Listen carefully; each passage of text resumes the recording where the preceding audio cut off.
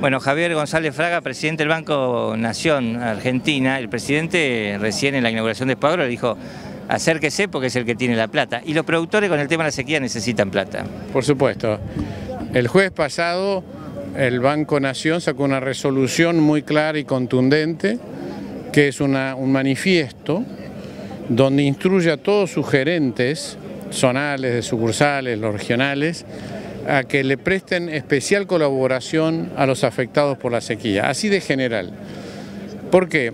Porque no creemos en las líneas específicas, porque algunos califican, otros no. Vos, por ejemplo, decís, bueno, sequía son los productores que la han sufrido, pero el contratista que a lo mejor no tiene una hectárea de campo también lo sufrió. Los contratistas son los más afectados, claramente, porque están endeudados en esto de reponer maquinaria año a año. Exactamente, entonces los, camioneros están afectados, el comercio está afectado. Entonces, nosotros preferimos eh, dar una línea, eh, una instrucción muy amplia con eh, tres instrucciones más precisas. Primero, renovar automáticamente todos los vencimientos de capital e interés. Y si el central nos ayuda con lo que anunció el presidente, que lo va a hacer el próximo jueves, eh, pasado mañana, el central va a flexibilizar lo que antes era un tratamiento discriminado al que no te cumplía con los intereses. Ahora vamos a poder tratarlo y mantenerle la misma categoría crediticia.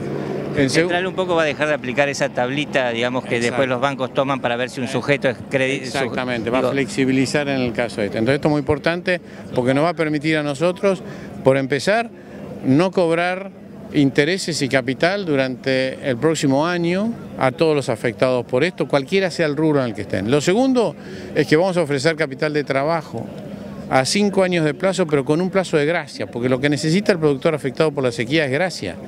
Él tiene que eh, recomponer el stock ganadero cuando se ha quedado sin reservas y no ha podido sembrar eh, verdeos de invierno. Un, un, changüí, un, tiempo, un changüí de tiempo. Es, permitirle la recuperación. Yo creo que todo, he sido productor, sigo siéndolo, cuando te agarra una sequía como esta, vos quedás un año tecleando. Entonces acá el banco tiene que venir con préstamos no necesariamente a tasas subsidiadas, nuestras tasas son muy buenas. Hoy estamos prestando al 19%, que es menor eh, a la inflación de los últimos 12 eh, meses y en línea con la inflación esperada. Entonces, el tema no pasa tanto por la tasa, pasa por la disponibilidad de crédito. Y el tiempo que le des al, tipo para poder eh, recuperarse. Y el plazo, muy bien. Lo que podemos ofrecer es plazo.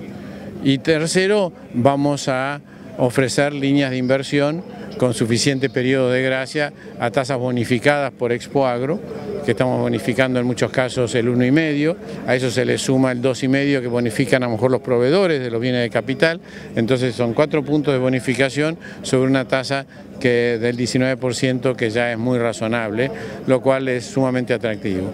Y a esto le agregamos lo decimos en voz un poquito más baja porque no queremos hablar del matafuego en la casa del incendiado, pero recordamos a los productores de que nosotros financiamos riego, hasta 15 años equipos nacionales e importados, antes era solo para eh, nacionales, ahora hemos incluido los importados, y también alentamos, no podemos obligar a nadie, pero alentamos a tomar seguros para eh, eventos climáticos, porque estos seguros a nosotros nos permiten dar más crédito y pedir menos capital, porque si eh, el productor está asegurado, eh, ya entonces tenemos menos incertidumbre y el riesgo baja. Entonces son temas que hay que pensarlos para el año que viene y también tenemos que agregar eh, muchos otros elementos como impulsar el mercado de futuros de ganados, de carnes. Están jugando a dos puntas, digamos.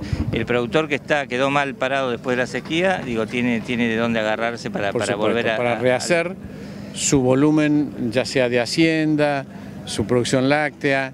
Pero si hay, eh, alguien, hay alguien que quedó bien parado, tuvo buen rendimiento, porque por ahí le llovió. o tiene riego y por tanto... O tiene riego, digo, están ahí para, para un poco para que capitalice más. Y por supuesto, también ayudarlo.